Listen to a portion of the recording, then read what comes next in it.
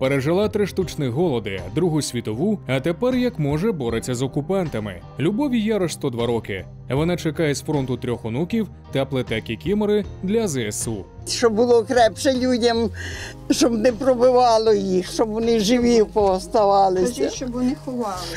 Шкода людей. Любов народилася 1920 року в пустинниках на Житомирщині. Її життя окупанти псували з маличку. Перший голод не пам'ятає, була ще немовлям. Батьки намагалися про цей час не згадувати.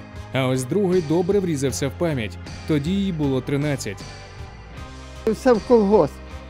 Плуги, вози, геть усе це вже добирали від нас, від людей. А там уже розводили цей колгосп. А тоді якось що воно стався цей голод. Не було нічого, не, не їсти. У мене ноги були попухляні, руки попухляні, сама не могла ходити.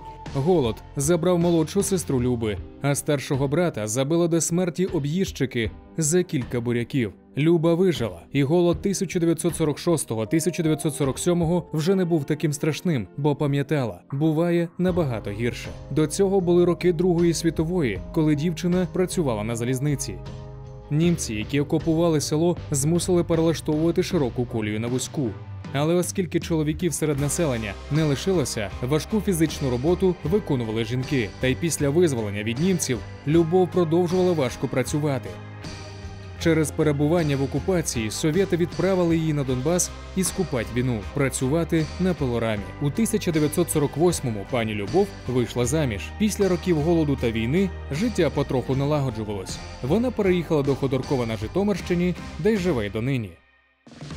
Любов дожила до нової війни з росіянами. На фронт пішли троє її онуків. У мене три онуки воюють на фронті.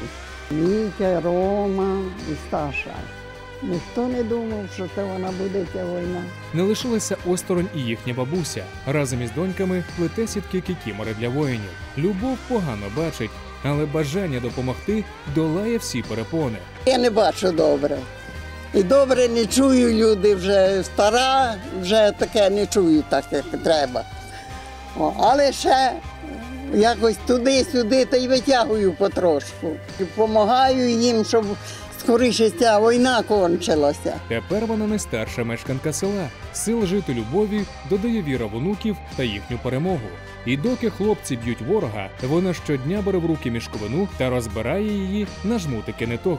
Жду, я її хочу дождатися цієї перемоги.